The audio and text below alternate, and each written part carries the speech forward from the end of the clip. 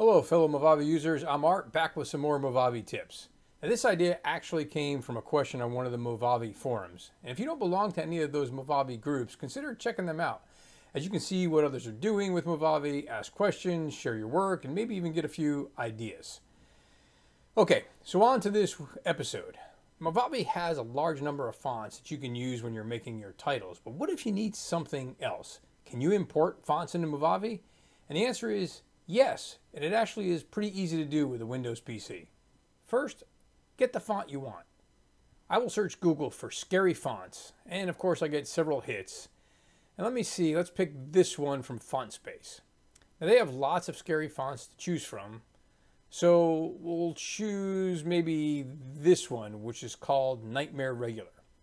I'll select it and then find the button where I can download it to my computer. And of course, always make sure you download from a trusted site.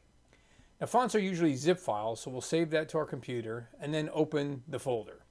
Now you click on the font file and you'll get a pop-up window that shows you the font and has the option to install it on your computer here at the top. Select that and you're done.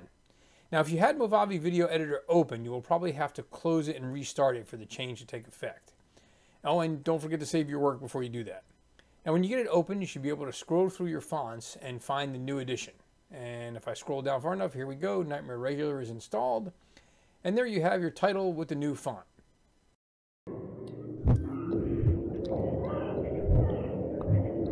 Pretty simple way to add new fonts that you can use in your Movavi projects. Hopefully that was helpful. Uh, if you enjoyed this and you liked it, go ahead and hit subscribe down at the bottom and you can see all of my Movavi tips, the ones that I've already made and the ones that I'll make in the future. Thanks for watching. We'll see you next time.